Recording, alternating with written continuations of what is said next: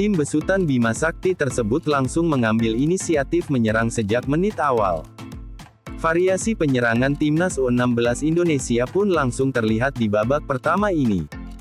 Memasuki menit ketiga, skuad Garuda Asia sudah berhasil unggul atas Filipina.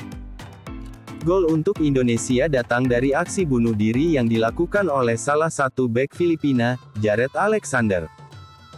Seakan tak puas dengan satu gol saja, para pemain Indonesia kembali menggempur pertahanan Filipina di pertengahan babak pertama. Gol tambahan bagi timnas U16 Indonesia pun hadir pada menit ke-37. Arhan Kakak berhasil menyambar bola hasil umpan salah seorang rekannya dari sisi kiri penyerangan.